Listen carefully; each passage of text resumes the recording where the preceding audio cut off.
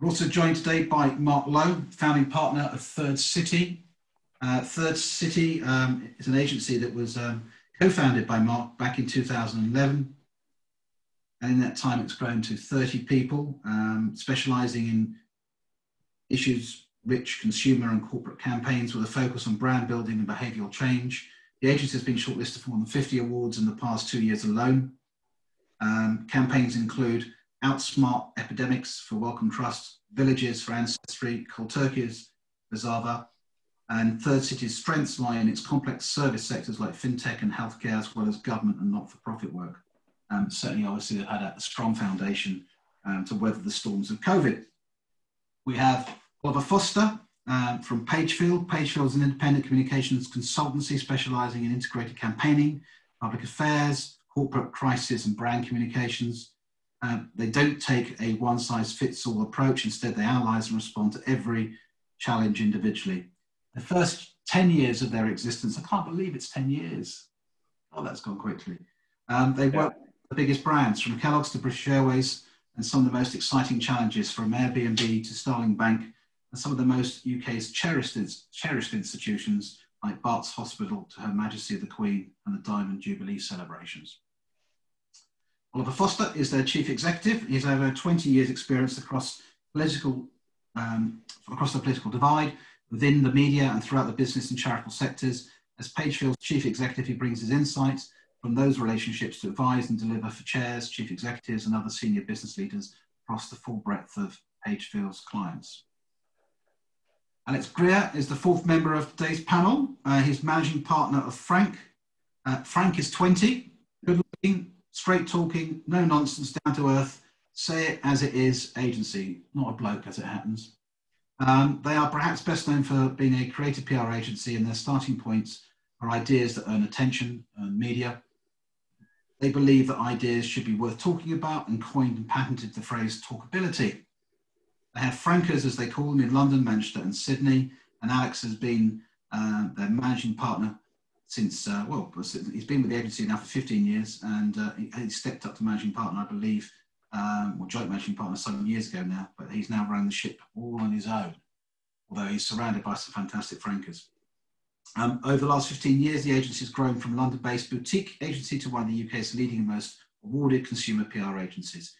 Uh, Alex works closely with the Frank team. In the last 12 months, Frank has delivered award-winning campaigns for Burger King, Huawei, D-Day Story, and UN Patron of the Oceans. Um, and outside work, Alex spends most of his time taxiing his four children. Clearly, obviously, he's been in the danger zone uh, during lockdown. I suspect there's probably now six of them, isn't there? No, I'm stopping at four. Good for you. Okay, guys and girls. So that's our team. Um, as ever, if you have questions um, as we go into today's conversation, um, just want to check that we are on record. Uh, we are recording good. So we'll get going really. Um, let's sort of talk a little bit about the kind of political environment we find ourselves in at the moment. And there's been an, an awful lot going on the last week. Uh, there's a huge amount of confusion. Uh, I think originally I, I, entitled today's presentation Confused You Will Be. Um, but I mean, particularly if we look at what's happened this week alone with um, Boris and other members of his government, um, continuing to confuse people both at a national and local level as to what they should and could be doing. Um, what's going on with the, with the communications department at number 10? I'm going to throw this one straight at uh, our friends at Pagefield. Oliver, you must have some insight. What, what, what are they up to there? Yeah, thank you, Stephen, and hello, everyone. Um, uh, I, am going to try not to swear on on this, uh, not least because it's recorded, but it is very easy as a as a, a, a kind of comms professional as we all are to look at what's going on over there and and and uh, have no other words but swear words in our minds. However, what I would say is, and, and, and you you mentioned the word confusion, Stephen, um, and um, it clearly has become confused. But um, in some respects, the communications failures that the government, government is currently going through is in is in part as a result of the, the, the initial success they had at the beginning of all of this. Um, and for me, you know, everyone has different ways of looking at what you know what what, what are the, the key criteria for, for good communications, whether it's political communications or otherwise. The message needs to be clear, it needs to be consistent, it needs to be compelling, not confusing. Um, and at the very beginning of this crisis, I think they ticked all three of those boxes very, very well. Now, differences of opinion, of course, about the the way they went about it and some of their policy decisions, but from a communications point of view, they were incredibly successful with that first round in March and April of, of, of, of the stay home, protect the NHS messaging. Uh, clearly, they have been too successful because trying to wean people off that initial communications has been a real challenge for them. Um, and in terms of what's what's going on at number 10, um, you probably hear this every under every government. Number 10 really, really, really is in, in is in control.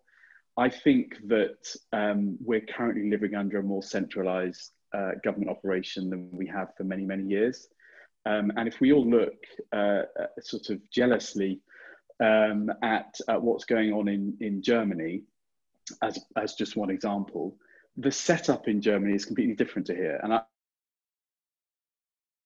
I think this country, I'm in no way trying to make excuses for, for this government, quite the opposite. But I was thinking about this the other day. In many ways, this country is, is, is too big to be so centralized, but it's also too small to, to adopt the sort of federal approach that, that Germany has done. Um, and you know, in many ways, Angela Merkel's life is actually much easier than Boris Johnson because she's she, she's able to rely on uh, on the different federal states coming to different conclusions, but having a central uh, sort of coordinating role. This government, particularly, but because of the way the British state has has sort of evolved over the years, is incredibly centralised and far too centralised. And that's why I think the government is is is causing itself so many difficulties, so many own goals. Um, uh, and and because within that structure we also have some individuals in the form of Dominic Cummings and others who are by their very nature incredibly controlling and all powerful. It's making the situation that was already pretty bad before coming into this even worse. Um, and uh, I, don't see an immediate way out of it because there's not going to be this sudden decentralization that happens in this country overnight. Um, because politics is so febrile in this country and always has been, and so combative, particularly between the two main parties, um, that that sort of lives and breathes at the local level. So if there were a London mayor right now who was a Tory, I suspect we'd be seeing a very different picture in London than what we have. Whereas we have a mayor who's con- constantly complaining and coming up with no solutions, with a, a, central central government that is trying to come up with solutions but making mistakes as, as they go along. And punters who live in, those of us who are still in London, um, are sort of suffering the brunt of that and are really confused about what's going on. Um, so, so as I say, number 10, if they followed their original approach way back in March and April and they were delivering a message that was clear, consistent, and compelling, they would at the very least, even if some of the policies were wrong, they would at the very least gain some of our respect and, and, and, and uh, the population's following of what those rules are supposed to be. And so when the Prime Minister himself can't yesterday uh, remember the detail of those rules, um, then you know you've got a problem. I mean, it's almost as if actually after Cummingsgate, that's when the wheels really came off. We, we um, Savanta had been sort of tracking sentiment both amongst consumers and business owners, and the popularity or otherwise of um, our uh, ministers. And there was a massive, obviously, dive after Cummingsgate. Um, and it but it's, re- it's reinforced the sense of British fair play, right? absolutely, absolutely. I mean, I wonder. I mean, this is Kate and an Alex question, uh, and indeed Mark too. Please, if the, if this was a brand, you know, and you were basically advising um, the, the, brand owner what to do at this time, um, you know, where where would you start? Well, well, can I throw that one you, Alex? Off you go. Then give Kate thirty seconds. well, I was going to say, I think that it, when I was listening to Ollie chat, I was going to say actually, you know, for us, if we were giving advice to a brand, the advice you tend to, to give is keep it really simple, be clear with who your audience is, and pick one message uh, that you're going to give them and have one spokesperson for the brand generally. Um, and of course, the, the challenge that you have now is we're all at home consuming more media through more channels than we have done before. There's more reporting, and you have a constantly changing situation. So it, I, I, mean, I'm not surprised that that people at home are, confused because you're hearing multiple messages from multiple different regions, from multiple different people, uh, with a situation that changes every day. So by the time I finally caught up with what I, I am and am not supposed to be doing, it's changed again, or I've been told something different by someone completely new. Um, so, so it's a, a very difficult situation. So, Kate, I mean, reflecting on that, I'm thinking, you know, it, FMCG brands, you know, have also had to uh, adapt their messaging through this period, and have had to come out um, with a you know broad range of different communications. But one would imagine it's almost more time consideration and thought goes into managing uh, a brand than it seems to be going into managing government communications at the moment. Yeah, well, I'd hope so in many respects. I think, as, as Alex and Ollie said, I think um, simplicity is absolutely key.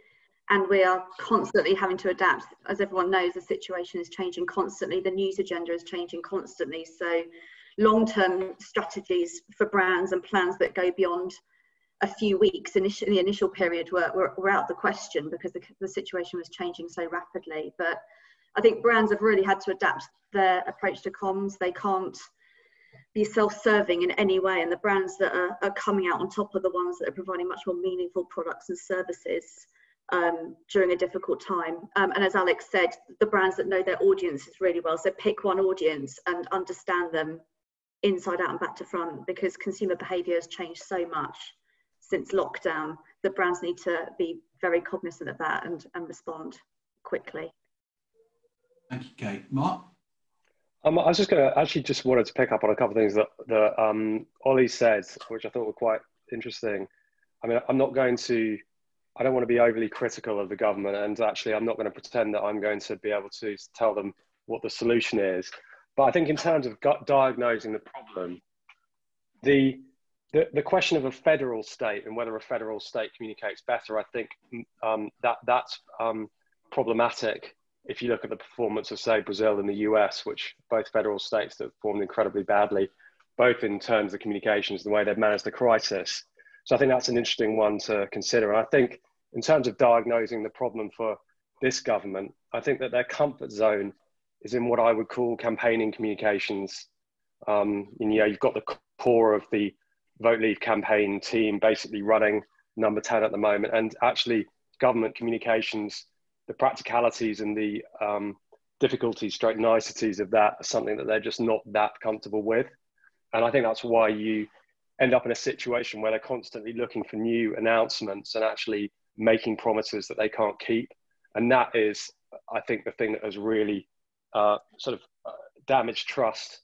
I think that there is still a lot of uh, a good level of goodwill towards the government, but I think that's been damaged by the fact that they're constantly looking for a new promise to make and actually then breaking those promises. So I think that's probably for me the key rule that's been of communications that's been broken here. Yeah, and broken promises are at the heart of brands and building trust.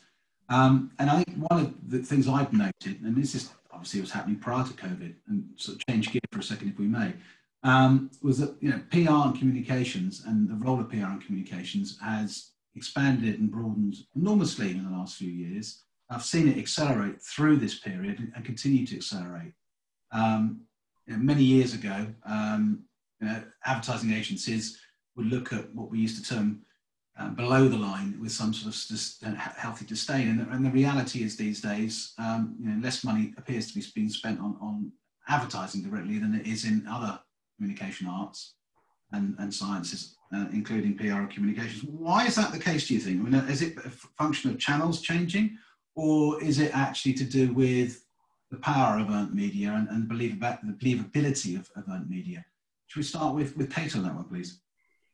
Um, yeah, I think it's there isn't one answer to that. I think it's a mix of things. Certainly, what we've noticed, as probably everyone in this on this call, was you know budget, budgets being frozen, activities just being dropped the minute that the pandemic hit. Um, and as that started to come back, less money has been invested into above the line um, and as a result, more money um, from some clients has tended to come our way. So, bizarrely, despite the situation, we found ourselves with existing clients being able to grow those quite significantly um, over the past six months. So, winning new business from from organic clients. Um, and I think the trust is there. I think Alex touched on it before that you know there's people are at home more than ever.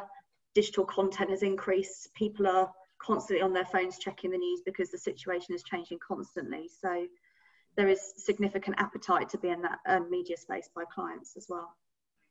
Yeah, Kate, I mean, I think when it comes to social media, you know, there's a huge amount of distrust and, and concern around it, particularly obviously around fake news. And, and we've seen it in, in, the elections in previous years, and obviously we're watching very closely in the US elections how that's going to actually impact. Um, I mean, to, to, to, what extent do you think that social is um, being undermined by fakery, um, Alex? Do you think it's something that actually, I mean, do you advise your clients uh, against using social, or are you uh, very much a believer in it? No, I think we're we're believers in social, and and to pick up on your your previous question, actually, I think that move towards earned and earned creativity pre-COVID came about because a lot of brands realised that that kind of traditional marketing model, whereby the only agencies capable of doing creative thinking were ad agencies, kind of in that, that traditional sense of an ad agency. Um, and actually, with the move at the time, with the, the sort of big move towards social and digital platforms, um, there was a, a realization that actually you could get brilliant creative thinking, uh, perhaps more economically, uh, from other agencies, and those agencies could produce the work um, and the content, whatever it ended up looking like, um, at, at, marginally less cost. So it sort of became a, a, very economical way for, for brands to do exciting creative work and, and get it out there without having to do expensive production and expensive media buying. Um, but I think now um, the what, what's interesting on social um, is that there has been a overall kind of drop in trust on social, but I think that's more for news consumption. Um, so there's a, a report um, that I was reading, it was an Ofcom report, and I can't quite remember the stats, but it, it was something around the, you know, trust and social channels had dropped from 38% to 35%, something along those lines. Um, so I think for, for news reporting, yes, it has dropped. For brands that want to engage with consumers um, and existing fans and reach new ones, um, social continues to be a, a brilliant um, media channel to use. So, I if that's the case, then Oliver, it's, it's all your fault, isn't it? Thanks for that, Stephen. Uh, I mean, I um, just on. I've got several sort of responses to what's been said so far on on Twitter. Um, two or three years ago, I lived and breathed Twitter and got everything I wanted from Twitter. Where I where I sit today, um, if I were if I were Donald Trump or Biden, whoever the next president is, I'd pull the plug on Twitter. It's vile. It brings huge benefits, of course, but it's absolutely vile. And there's it's it's a wild west, and it's completely lost control. And for them to argue that it's the responsibility of people, their users, and they have no control over that is absolutely ludicrous.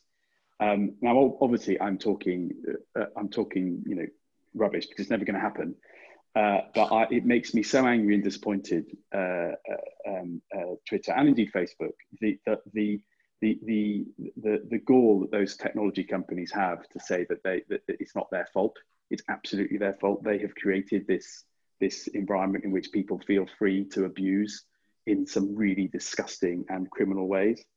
Um, so I've got that off my chest. In terms of the, in terms of the, um, the sort of wider space that we're operating in. I, I agree with all the points that were made around around the, the around the, the, the, sort of shifts in in the way that um, uh, you know the, the, the broader communications marketing environment is changing. I, have certainly, uh, to Kate's point, definitely through this we have um, continued to grow our existing client relationships and the, the new business, the, the huge amounts of new business that come our way um, the, the, the main change we felt from those have been a combination of very short term projects, but much higher levels of fee to take account of that. So much less certainty, but, but worth taking the risk because the fee is that much greater. Um, and out of those, we will know in six months' time whether you know all of those different projects we've taken on during COVID become long-term relationships. I obviously have every hope they will, but also realise that not all of them necessarily will. And in terms of the, the sort of um, the shift to, um, you know, not necessarily away from advertising, but I think that the transition, I've certainly noticed from, from our perspective, and obviously we're in a slightly different space to, to, to the other guys. We're, we're very, very corporate and we're, we're lobbying. But Um, I think there has been a realization across boardrooms, um, uh, uh, you know, across this country, across the world, arguably, and not just the big, not just the big boys, but small companies and you know challengers like Starling Bank, who we work for, that everything from a communications point of view really does need to be integrated now. And we are working regularly with uh, with advertising and marketing agencies, with with, with or, or with the in-house teams with our clients in a way that we never did four or five years ago. And I think finally we might be at a point where comms in its in its most sort of general sense is absolutely represented around the board table. Um, and and whether it's COVID that people have realised that needs to happen, or whether it's before, whatever, it is now really happening, and it's really really good to see because it should have been happening all along. Um, and the fast-paced nature of, of media, in, in part Twitter and Facebook, which I said I'd switch off, um, the, I think boardrooms have realised they can't afford to, to treat communications in, in, in, as I say, in its in its broadest sense, as a, an afterthought when they've taken the board decision and then, they go to the comms team. It's absolutely the comms guys are, in, are a part of that decision making. Yeah, it is interesting. You look at the board makeup of say the top 100, top 200 FTSE companies. You know, the corporate affairs director, uh, he or she has for many years been part of that board makeup, or at least a senior member of the, the management team. Yet we still fight to see marketing directors on, on the boards of these organisations. Very rare. Um, so I think it's always been held at a high regard, but I think what's happened is that social media has accelerated the need for these corporations to be more acutely aware of the requirements in that space. Um, Mark, we, we, we, just touched just briefly there with, with Ollie about the fact that actually most PR firms, most com firms have done rather well during COVID, um, albeit obviously, as you rightly say, there's a lot of short-term projects coming in um, and no real understanding as to whether those will continue in the longer term. But I, I know that you, have done well in this period too, and, and, I know that the agency continues to grow.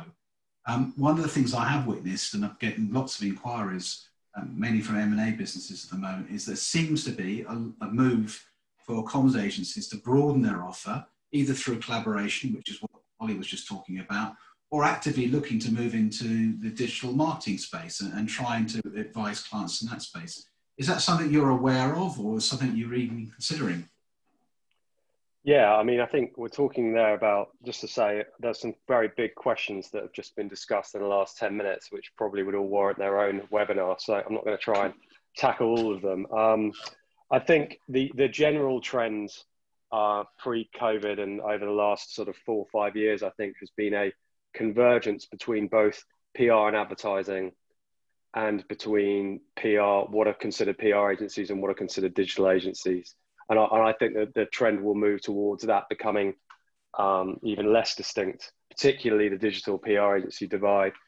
Just talking briefly about the actual past six months, I think I get a general feeling from the trade press um, and from uh, sort of Twitter and other places that possibly the PR industry is a bit more chipper than advertising.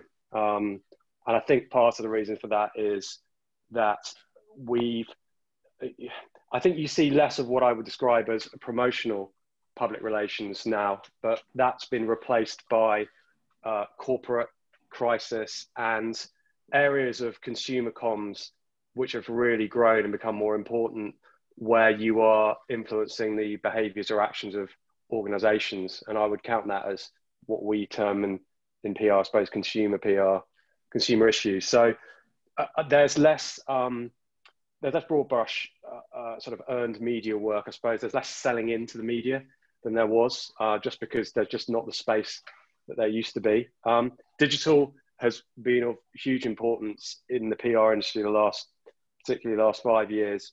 Uh, particularly the growth, I think, of paid social. that's a really integral part of every campaign we do now, both paid and organic social, and that's massively accelerated again, because of the question of share of voice in this period, the news agenda is so busy that you need to pay to get cut through on, on social channels too. So I think what we see now is really an acceleration of trends that were, were already there. And I'd expect to see more convergence stroke integration uh, in the future. Back to you, Alex, if I may, on, on, that, on that very point. Yeah, I, I, I mean, look, I think on the convergence point, Mark's completely right. And I think I went to a, an industry talk pre 2010 where agencies started talking about convergence. And certainly for us in the consumer space, um, I would say 70 to 80% of our clients, we would, for at least the last decade, tend to have been one of up to half a dozen agencies around a table looking at, at integrated comms. Um, I thought actually what, what Ollie was saying about that, that kind of having a, a comms person now at the board table, um, I think what we have seen in recent years and certainly seeing now over the last six months as well is the C suite of businesses are recognizing that they are responsible as faces of brands um, as much as the brand itself. Um, so, you know, th- there are many boardroom names that regularly now get, get quoted in what would previously have been termed as, as consumer media. Um, and it sort of led to this, this word that I guess the industry, another made up word that we've all come up with, you know, but we, we've talked about consumer um, for a while, and it is that sort of coming together of, of corporate comms and consumer comms, which then, to I think it was Mark just mentioned it, you know, a, a lot of the work that brands have been doing, particularly over the last six months, is consumer issues. You know, consumer issues, and certainly at the start of the pandemic, a lot of brands just said, "We'll, we'll stop everything. Like we don't really know what to do or what to say." Um, and it, there's some serious stuff going on out there. We definitely don't want to say the wrong thing, so let's stop entirely until we figure it out. And then I think brands actually had to sort of choose between you had to be informative and helpful. And then there came a point actually when we were a couple of months into lockdown and the new normal or whatever you want to call it had, had sort of set in, um, perhaps with some of the boredom as well and the challenges of educating kids at home and everything else. And then actually there was a, an opportunity for brands then to start to be a little bit entertaining and fun too. Um, because at that, at, at, that point, that sort of became okay. And I think what now will be a really interesting challenge, and I realise I'm waffling a little bit, but what will be a really interesting challenge going into Christmas is actually how brands should behave in the run up to Christmas. Um, because historically, Christmas has been the time for celebration, family get togethers, you know, go out, spend big, you know, whether that's buying your Christmas lunch or buying Christmas gifts and all the rest of it. But in the world that we're currently in, where actually, in my house, for example, rule of six means we can't have anyone over. We've got four kids, me and, and my wife, that's it. We're at six. Um, but actually, what happens if, like, which set of grandparents do you get to invite around? Um, what happened to, you know, Uncle Bob? Like, does he still get to come to Christmas lunch? Um, and actually, in a world where you know there's no more furlough scheme, there's real uncertainty around jobs and the economy. Like, do I spend big to put a bad year behind us and time to to treat the family and the kids for Christmas 2020, or do I say actually really not sure what what the world looks like beyond? I'm going to be a little bit more cautious and and we're going to have actually like a, a relatively cheap Christmas. Okay, well, I'll hold that thought for a second, Alex. I think it's a really, really important point. And um, Kate, I mean, you, you, work with lots of retailers, you work with lots of um, FMCG brands. What, what's the view they're taking, and what are their plans between now and Christmas? Because this is their this is their peak period. Oh yeah, it's, it's been, as you can imagine, really, really turbulent. So we've got we've got some clients like Morrison's, for example. The grocery sector is is booming, um, booming in, in volume terms, but it's cost their businesses a lot of money as well in terms of making their environments COVID safe. Um, we represent brands like Caffè Nero, who furloughed 90% of their staff um, in March, who have, have really suffered and, and not caught up since then. Um, but, but the stance generally that they're taking is quite short termist. It's always been a very fast turnaround business, not too much long term planning. Um, Morrison's, for example, we are talking about Christmas at the moment, but to Alex's point, it's very hard to know where we're to, whether we're going to have a rule of six across the board right now or whether we're going to be in lockdown where households aren't able to mix. So anything they do do will be very sensitive to the situation and very, very last minute. Um, and value is going to be one of the key messages because a lot of people are in financial difficulty coming out of furlough schemes and um, I don't I don't expect people to have a really lavish Christmas necessarily to put to put the bad year behind them. Certainly from Morrison's point of view, it's all about keeping things simple and value. And, and no John Lewis TV campaign, I understand, this Christmas. No, probably, probably got other things to spend their money on at the moment as well. Absolutely. Survival obviously is, is very high on their agenda too, I imagine. Okay, well, I mean, let's just, just talk about um, one other aspect of, of PR and communications and, and what, what has changed, and, and that is the kind of the role of influencers. Um, like them or hate them, they're not really going away. And, and to what extent, I guess, you engage with that audience when you're actually putting together a plan for your uh, clients? Mark, can I can I start with you in, in terms of influences and, and, and, whether or not you see a role for them for your client base, and if so, how you engage with them? Yeah, I mean, what, I think what's uh, people have known, I think, about for, for quite some time about the role of influencers in consumer comms and brand promotion and, and things like that. And obviously, there are issues in in and around that, around the questions of payment, transparency, uh, and things like that. I think one interesting area is the growth of the importance of opinion formers in corporate PR um, on, on, digital channels. Um, Ollie, I'm sure will be able to talk a bit more about this, but um, you know, I think we do a lot of uh, campaigns which are looking to shift, say, elite opinion, uh, opinion formers, expert opinion, um, and actually rather than speaking to people face to face using digital channels, um, LinkedIn, for instance, has really come on in the last couple of years in terms of how you can use it as a tool to target to target opinion formers. Um, the question of payment's still there in both in both areas. Clearly, in consumer comms, the it, you know it's becoming almost as big as advertising itself.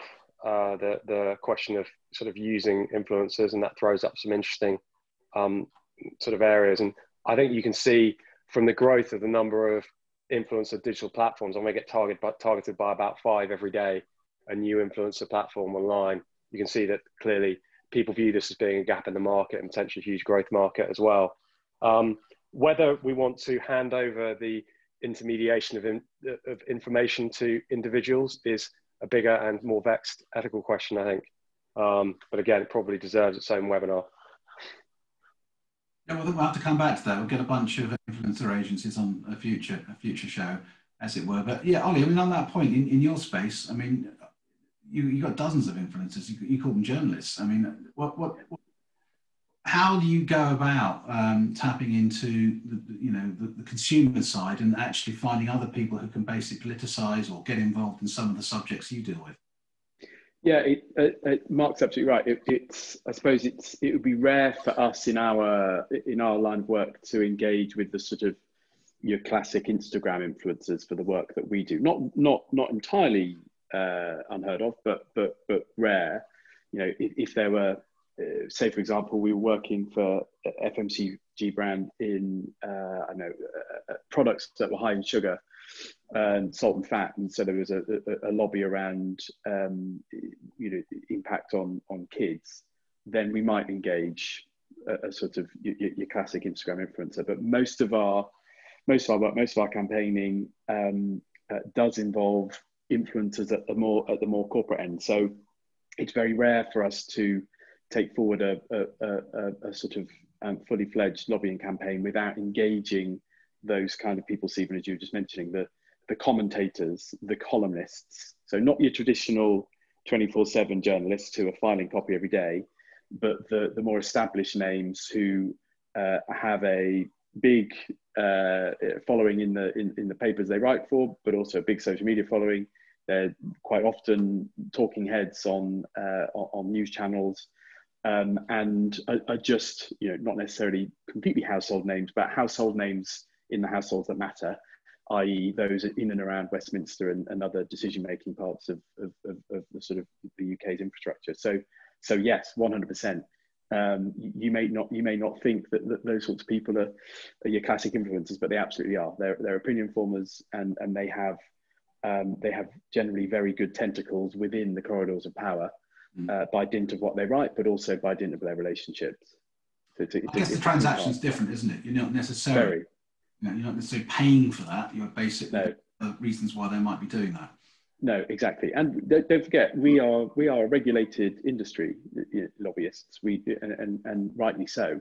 So you know, any any money that is transacted, it, it absolutely needs to be declared through the registers. So um, the, uh, the, the way that we go about um, engaging influencers in our world is, is, is not by signing a check, it's by persuading them of the, of the argument.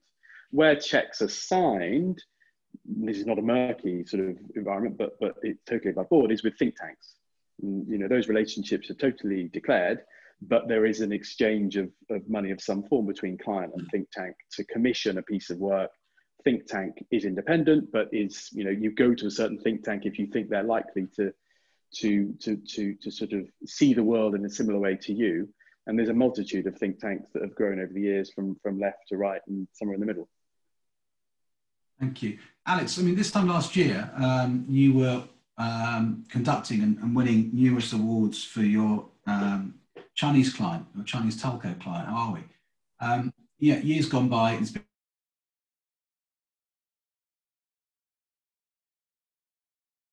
been both by the government. Um, in a situation like that, where you've got a consumer brand that's conflicted with political um, ambitions around the world, uh, what, what's the role for a consumer agency in that space? Because you know they still need to continue to sell and promote their products. Yeah, well, I mean that's that's been a, an interesting one, um, and again, I'm sure there's a, a, separate session in its own right uh, where we could probably talk about that, uh, ad infinitum. But I, I, did want to pick up. There were a couple of thoughts actually. I just wanted to throw in on the influencer piece, if that's all right.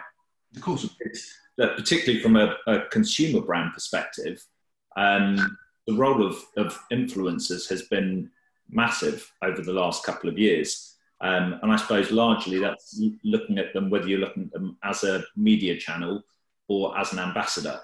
Um, and what has been really useful in, in more recent years has actually been some of the tools that have come through that help you identify the right influencers for the right audience for the right client and actually then look at their genuine level of influence, i.e., how many real followers do they have versus fake. And also, I suppose, from a client perspective, as clients have become better educated and more experienced at working with influencers, understanding the importance of engagement versus just an overall reach figure.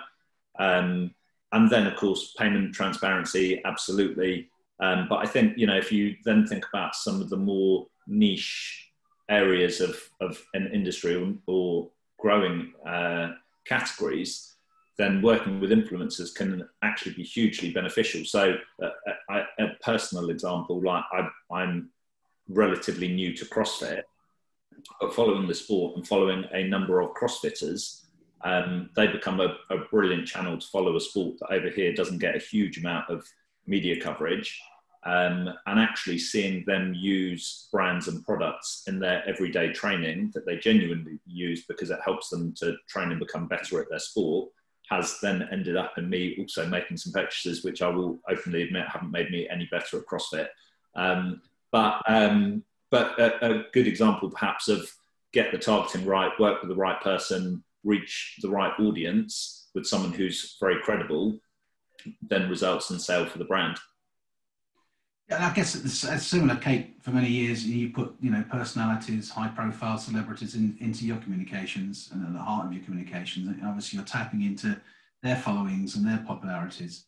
Um, the question I have though is how you kind of, you know, if it was straightforward media, you go to someone like Brian here, who's on the call, or one of our media agencies, and it would be a straightforward conversion. You work out what the coverage is and the, and who they target and who their audience is, and you'd be able to work out and correlate what you should be paying these people. But it doesn't seem to kind of follow that pattern. It seems to be much more um, down to persuasion and negotiation rather than a sort of a, a, fixed rate or a tariff card. Yeah, exactly that. And I think when every time I get a brief from a client, it's about really establishing what they want to get out of it. Um, I think what we have noticed more and more is ROI is critical. So, as Ollie mentioned, comms has got a seat at the boardroom table finally, but it means more questions are being asked about what what is coming back in return. So yeah, the pay, paying ambassadors, it's not as simple as a rate card. Um, and there's been some steering away from that. I think there's, there's rarely a plan that we put forward that doesn't have influencers included in it.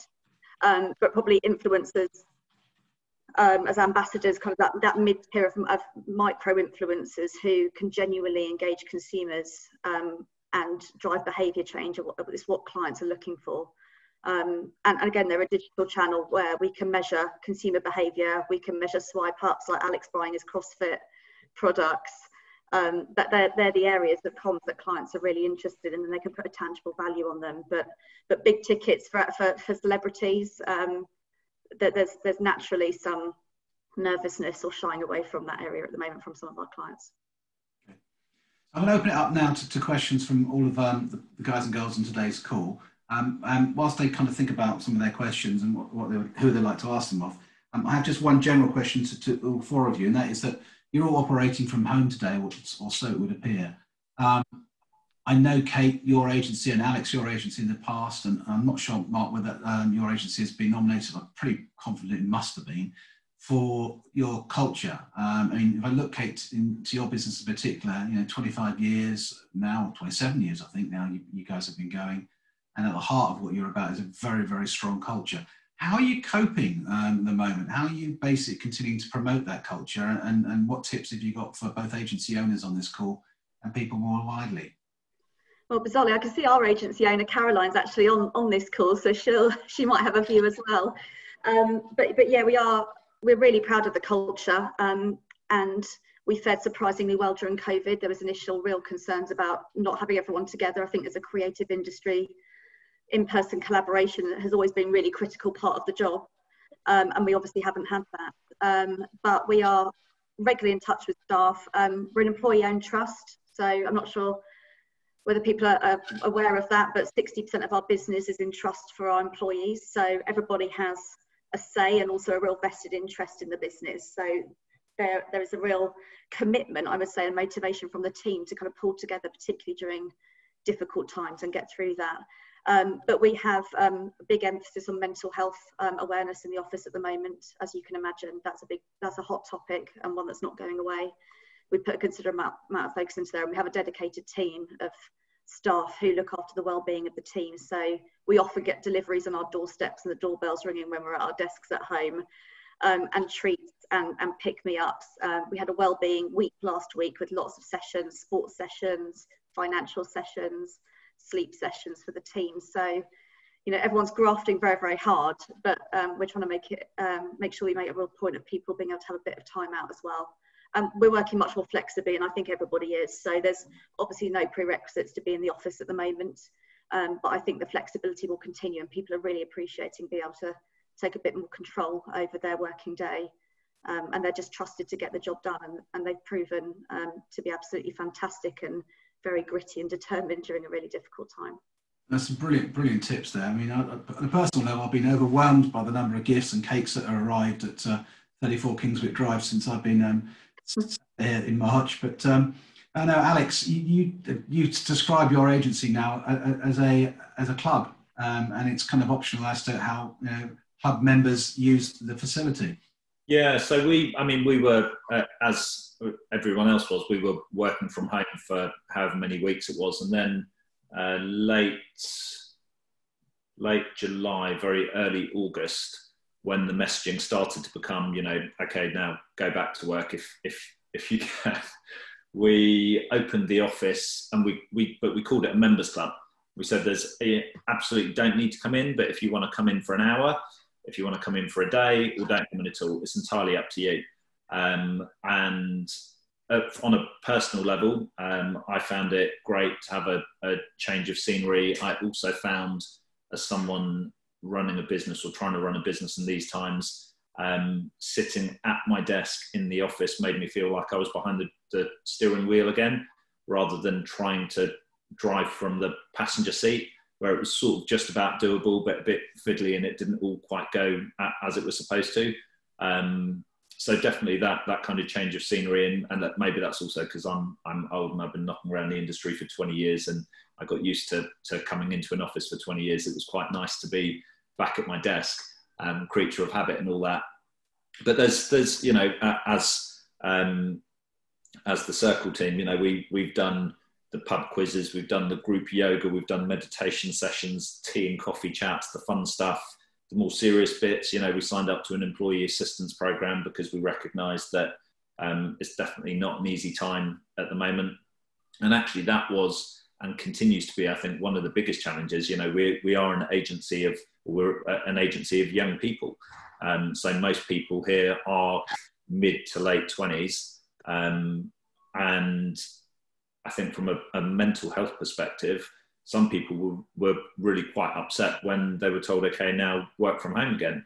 um, because actually for them, you know, whether it was one day a week, two days a week, um, coming out and being in the office and getting a, a bit of company from, you know, their mates, because we've got lots of people here who are, are great pals, um, was was a really good thing. So it, it is um, it is tough.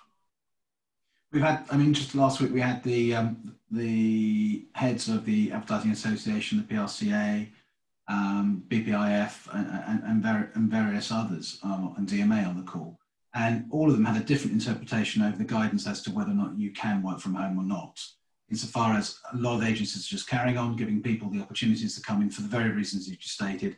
Others actually take the, taken the decision to withdraw and go back into, into their homes.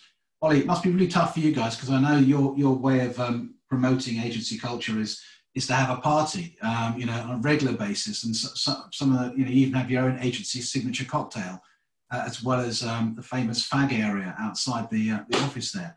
That must be really hard, I mean, uh, for, for all of you at the moment.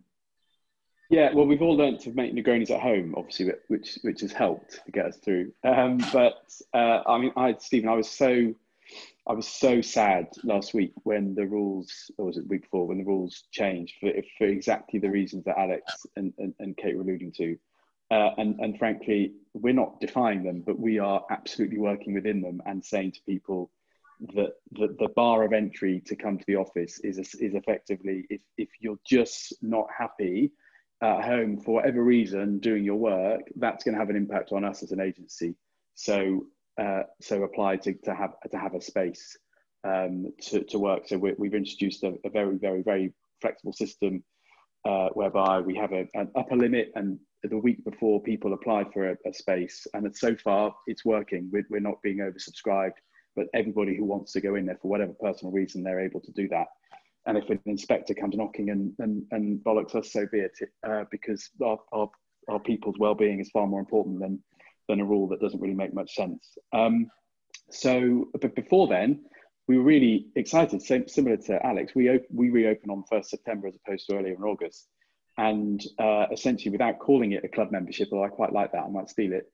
Um, that's effectively what we've introduced, and the only um, the only compulsion on the guys uh, as part of that club membership was they had to be in for on a Tuesday at lunchtime because we would all sit around and Stephen, you see in our office, we'd sit around the, the now very large communal area and sort of come by our fashion, eating our lunch and having a having a kind of very informal team meeting for, for an hour and a half.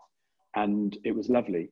Uh, and they all loved it. And so as soon as this news broke and it was obvious we were going to have to stop that, which we have now stopped, uh, it was really heart wrenching. And also, frankly, because um, we were doing our small bit for Soho when we were coming back on a Tuesday, we were getting lunch from a local uh, cafe, and you know, guy, guys were going out and having catch-up coffees. You know, every small little bit, keeping some of those places alive. And now they're likely to be decimated as a result of this uh, result of this change.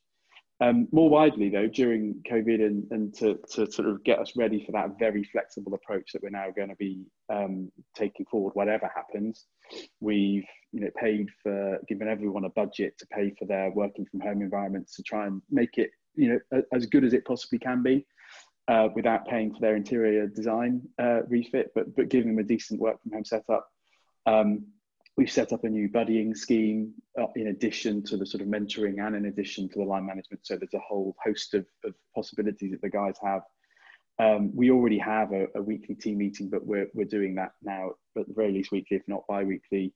Um, we've been giving them even more transparency over the figures um, than we normally would. We, are always very transparent, but we've probably given them even more um, in, in recent months, and that will continue just to give them, you know, as, as, as honest a view as possible um, because uh, uh, as, as Kate was saying, uh, whilst we don't have the, the, the, sort of same structure in terms of employee ownership, um, we are a, a, a, people business and um, they have, I mean, many of them are very young and when this first hit um, was, as all of us on this call, it was a, it was a real shocker, but for, particularly for the younger ones who hadn't experienced 2008, it was, it was the first time they really had something like that happen. So uh, for me, transparency was best. And in, in, in those early months, it was, um, it, you know, it, it, made it made it even more scary for them.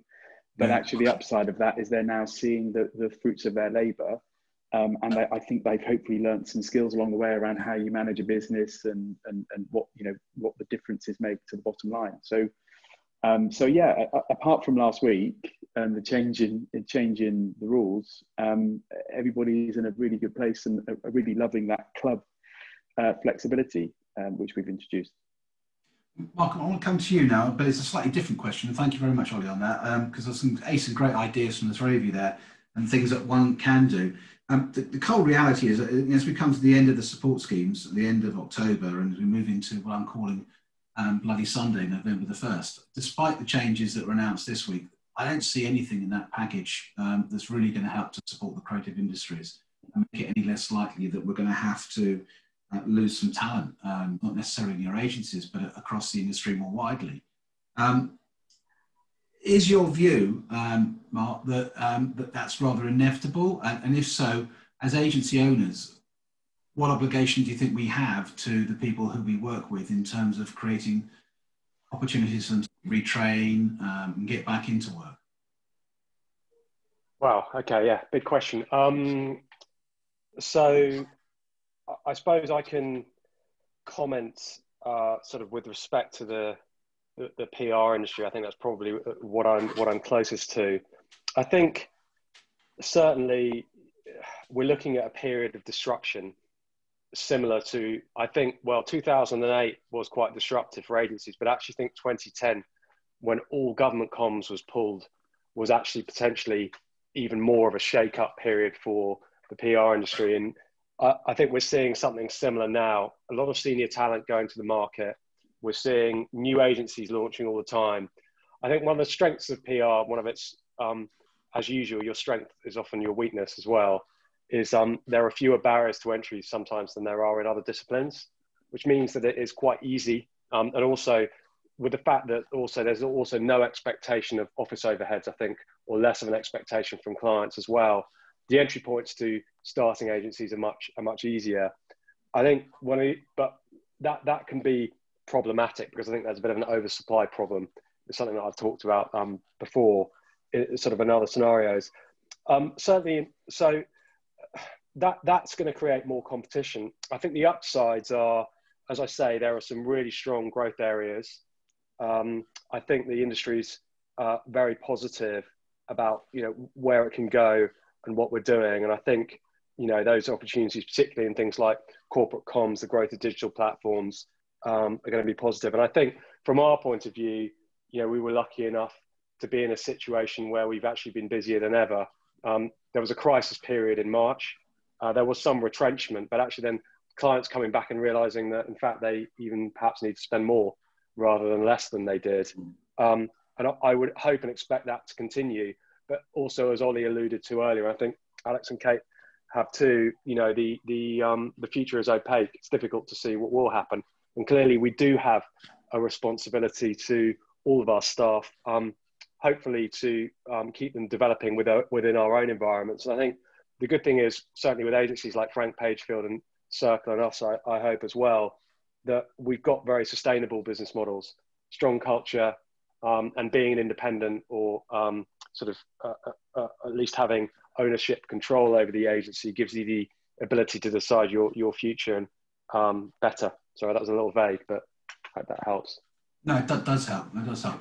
Listen, um, we're, we're, coming to the end of the today's session. I just wanted to thank all of our participants and all of our panel for, for um, your time today. Some really interesting topics, and as you rightly say, stuff that we probably could actually do whole sessions on. I want to say a couple of things. Um, in terms of getting together, we have a, a, a, new concept called networking For those that are interested in joining us on Friday, we've got our next networking session starts at 11 o'clock it's in Windsor Great Park, and um, we're all going to end up in a pub in COVID-friendly environments with tables of six. Um, if you're able to join us, then please contact David after this call. Um, other thing I would draw to your attention, we talk about mental health issues, and, and, the fact is it's going to get worse before it gets better, I guess, as we move into the next six months. Um, I would uh, draw your attention, I barely do this, to a PRCA uh, talk on Friday, uh, um, which will be delivered by Alastair Campbell, no less, talking about his own mental health journey. Um, if you'd like to uh, go to that event, um, it was on our weekly um, update. Um, if you want to know how to get onto it, just go onto the BRC website or contact um, myself and I'll, I'll, point you in the right direction.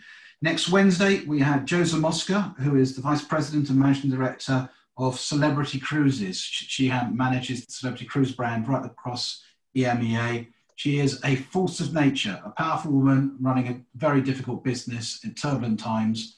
Um, really could not be, I think, a more difficult business I can imagine at the moment than running a cruise line. Uh, she's coming to talk to us about a number of things, including leadership, uh, what they've done, and what they continue to do for their customers. So I think that'll be quite an interesting debate. Uh, we haven't finally decided whether we're going to link her up with somebody else to, to uh, on that session, um, but I'll, I'll, let you know by the uh, end of uh, this week. Um, thank you once again for joining us and uh, have a great rest of the week um, and, and, keep doing good stuff. Cheers. Thanks, Stephen. Stephen, thanks all. Cheers, guys. Thank you.